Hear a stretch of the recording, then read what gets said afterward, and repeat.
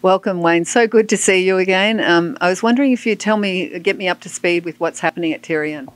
Sure. So, uh, Tierion, for those people who don't know about it, we are building a proof engine that allows you to verify the integrity of any data, file, or business process. Uh, we launched back in 2015. Um, we have several thousand customers come on board doing all kinds of interesting things from being able to uh, verify the integrity of data collected from clinical trials, create an audit trail for a business process, uh, and even um, validate the uh, cash and inventory transactions uh, for our cannabis business. So things that we would we would have never have uh, have anticipated. So it's it's great to see uh, ChainPoint, the technology we've created, take off in uh, sort of a mainstream way where it's being applied to real businesses, as opposed to science projects. That's fabulous. Good on you. Um, what do you see personally as the main issues around trying to scale the blockchain? Hmm. I think people have still have the wrong idea about blockchain, what blockchains are, and what blockchains do. Mm-hmm. So um, the original blockchain uh, was the Bitcoin blockchain, and the reason that Bitcoin has a blockchain is because it has proof of work as a consensus mechanism, as a way to be able to get all of the computers on the Bitcoin network to agree to a new set of transactions to be added to the network. And so, um, so Bitcoin has proof of work because it needs to be censorship resistant and uh, and have other properties that make it difficult to, to to shut down. Now, those kinds of properties don't apply in a business context most often. So the word blockchain has taken on a bit of a different meaning.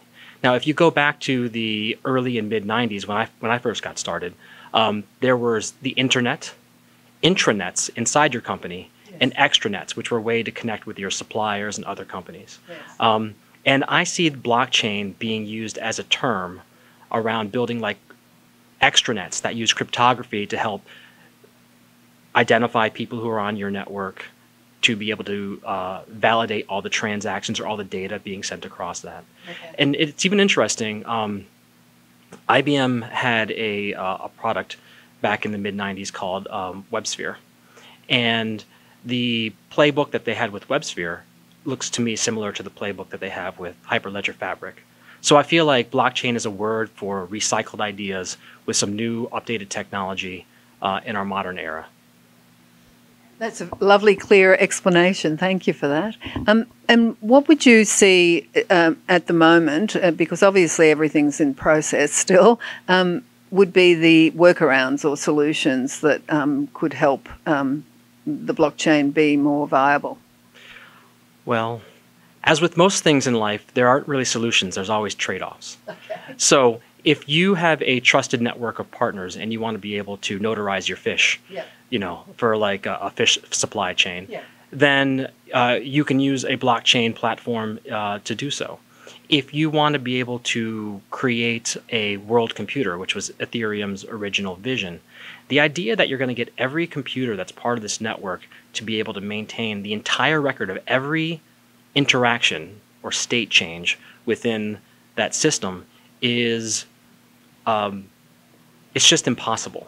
And so they have a solution called sharding, which is a way of breaking up the network into a series of smaller networks wow. and having cryptography be able to verify and validate the, the, the, state of different parts of that network. That's an oversimplified explanation of that. Right. So I think what you're going to see is that um, people are just going to use the technology for the business case that is appropriate for them. Yeah. The word blockchain is not going to die, uh, not for a while.